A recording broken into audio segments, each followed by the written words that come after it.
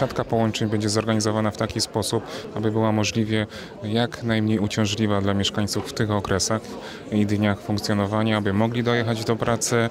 Na pewno jeżeli chodzi o wydarzenia centralne, to będą ograniczenia w ruchu i tam będzie ciężko z przepustowością i przejazdem. Natomiast wzmacniamy komunikację tak, aby mieszkaniec czuł się, że miasto e, go nie zostawia. Zakładamy i takie mamy główne założenia, że pracujemy tak jak w codziennych naszych warunkach. System Państwowego Ratownictwa Medycznego zostaje wzmocniony o 32 zespoły wyjazdowe, czyli mówiąc wprost o 32 karetki. Z tego 15 jest przeznaczonych dla miasta Krakowa. Nawet ktoś, kto nie będzie w tym uczestniczył, kto będzie gdzieś obok albo w swoim mieszkaniu, może być bezpieczny, może czuć się bezpiecznie i nie powinien się obawiać. Yy, Wręcz przeciwnie, ta wzmożona ilość policji, policjantów na terenie miasta oznacza również mniejsze szanse dla tych, którzy chcieliby komuś zrobić krzywdę.